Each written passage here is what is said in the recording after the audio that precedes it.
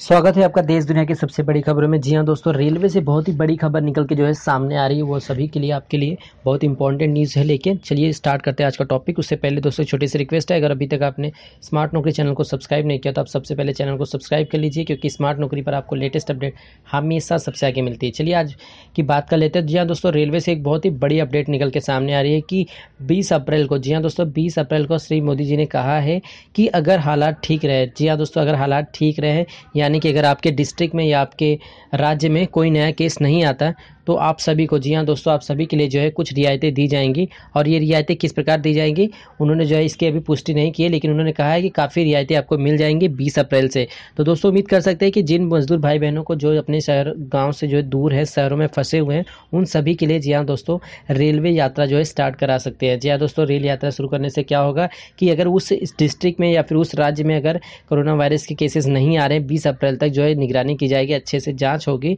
और अगर बीस अप्रैल तक जो है उस राज्य में या उस जगह पर कोई कोरोना का जो है नया केस नहीं आ रहा है तो वहाँ के लोगों को जो है वहाँ से निकालने की कोशिश की जाएगी। और सिर्फ़ उन लोगों को जो वहाँ के निवासी नहीं है, यानी कि वो गाँव देश से है, यानी दूर दराज के लोग हैं, जो मज़दूर हैं, जो काम के सिलसिले से आए हुए हैं तो पहले उन लोगों को निकाल कर उनको सेफ़ जाने की उनके गाँव पहुँचा दिया जाएगा। तो सबसे पहली चीज़ ये कि पहले इसके लिए आपको ध्यान देना होगा कि बीस तारीख तक, जी हाँ दोस्तों, बीस अप्रैल से ही आपका जो है रेलवे की तरफ़ से कुछ अपडेट आ सकती है, क्योंकि बीस अप्रैल से आपको मोदी जी ने कहा है सभी के लिए कि बीस तारीख से कुछ जगहों पर जो है रियायतें दी जाएगी। कुछ चीज़ों में काफ़ी जो है दुकानें वगैरह खोल दी जाएँगी उस इलाके की और उस इलाके में जो आपका जो है काफ़ी कुछ यानी ओपन हो जाएगा। जैसे कि अगर हम बात करें तो